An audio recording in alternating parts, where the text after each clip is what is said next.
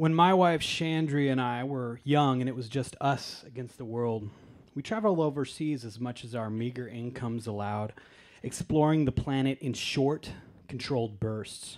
There, Germany, England, Japan represented our freedom and individuality, while here, where our parents and history lived, reminding us that we weren't as cool or unique as we wanted to be. In 2001, we went to Rothenburg, Germany, an old walled city that had been spared the ravages of World War II. Our room was on the top floor of a quaint bed and breakfast styled hotel, looking out over ancient Bavarian cobblestone streets, brown by design and age. The air was cool, and the bed was soft. And when we finally settled in and took a breath, we embraced each other and made love with the windows open. But all was not chocolate and bratwurst. Chandri, I like that, was determined to get a nice souvenir for her mom. We separated to do some shopping. I went in search of local snacks called snowballs that turned out to be only eh, a fourth as delicious as the guidebooks would have you believe. When we met up again, she had a giant bag under her arm.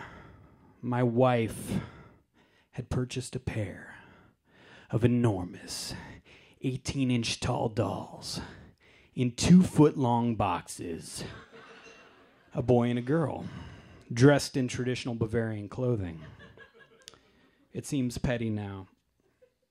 But then, when I counted every penny and every second as mine to manage as I saw fit, I took it like an asshole and accused her of not taking into account that we were traveling by foot and train rather than car. We already had two large bags each, and now we had to make room for Hansel and Gretel. What were you thinking? How are we supposed to lug these on to- around on top of everything else? And how much did they cost? I thought we were trying to save money. My argument was flawless.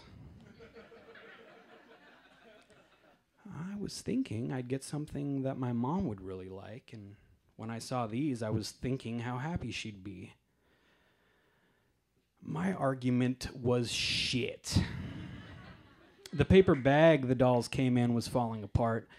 We spent the rest of the afternoon shopping, silently, for a large duffel bag to put the dolls in and sling over my shoulder. My feelings of freedom and unity, of us against the world, bound by just the love we had for one another, was being torn down by two giant toys shaped like babies. but really, it was all me. I grunted and made a spectacle of myself whenever I had to maneuver the dolls down the street or into a luggage hold. I tried to be as conspicuous as possible. Every movement I made, like a pantomime of hard labor. Look at me! Look what my wife is making me do! But I was young and strong, and they weren't really that heavy. Chandri just watched. I imagine she laughed to herself at my foolishness. She never ridiculed me or treated me as poorly as I treated her, and eventually I did what a lot of guys do. I pretended there was never a problem. By our last evening in Germany, the dolls had become such an important part of our trip, I took pictures with them under my arm. Like they were our children. Plastic, creepy children. That night, we got sandwiches at a little Turkish deli. Since it was getting late on a Sunday, most other places were closing. Chandri is a vegetarian, but they had run out of cheese, so they loaded her sandwich up with onions because I guess cheese white, onions also white. We took the food back to our plush Cold War chic hotel room, and after stashing Hansel and Gretel so as not to kill the mood, we made love again one last time on foreign soil, like hot American spies. it was so good that to this day we call it the onion sandwich night.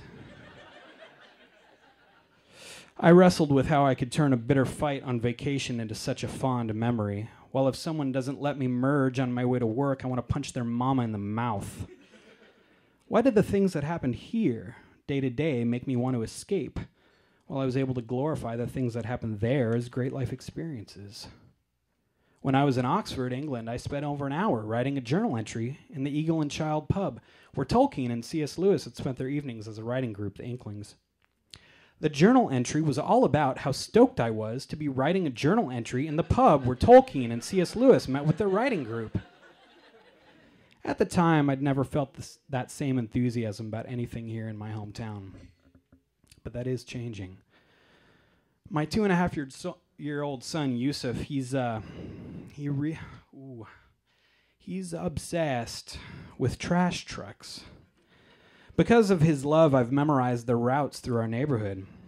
I know which driver will wave and which one won't. He dressed as a trash truck for Halloween, and I went as the driver. Wednesday is trash truck day, and while I got ready for work, Chandri is uh, getting ready to run outside with the boy at the first hiss of hydraulic brakes or squeal of mechanical arms, which the boy can hear a block away. I discovered the Garbage Truck YouTube channel.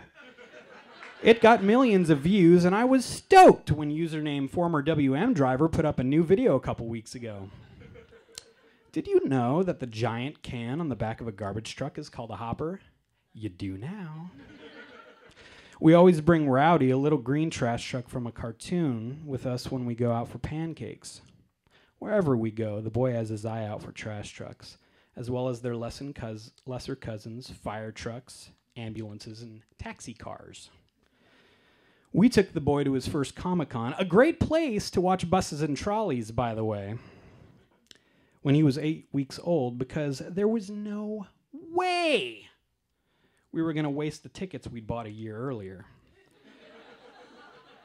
Theoretically, we knew there would have to be some sacrifices. Practically, we had no real idea how hard it would be. We planned to take turns with him, allowing each other to go see some stuff on our own. I took him first on preview night, while Chandri roamed the floor with her sister. I strapped him to my chest and deftly maneuvered through crowds of conventioneers while he slept. He was a little furnace, and my spine got sore while I leaned over back issue bins looking for old G.I. Joe trade paperbacks. Some people looked at me sideways, and I tried my best to stay out of their way. Nothing to see here, folks. Totally normal. Disregard the man behind the Beco baby carrier. Some folks, folks cooed over him and told me how beautiful he was. A guy selling HISS tanks gave me a discount on my whole purchase after we chatted about kids.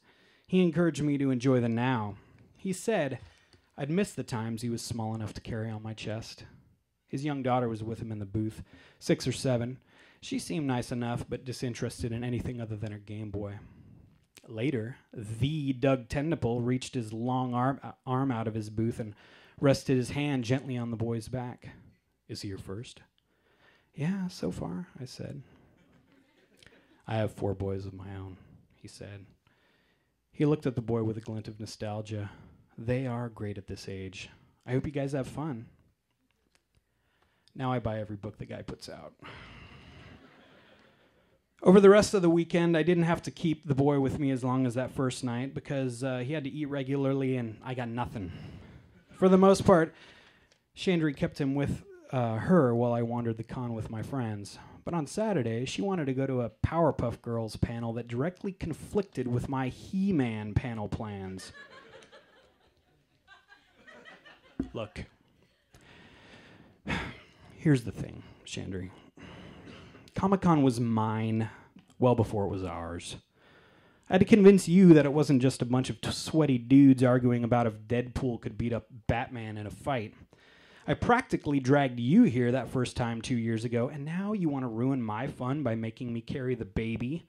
As happy as I am to have trained you to be a nerd, I'm not happy I have to untrain you now. Why can't you just be content to be the mom and wife you're supposed to be? Haven't I compromised enough? Why is everything I value as my own now supposed to belong to everyone else in my life?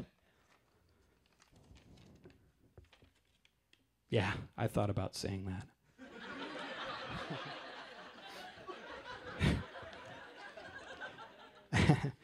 and that's what I might have said if I was the same kid I was there in Rothenburg.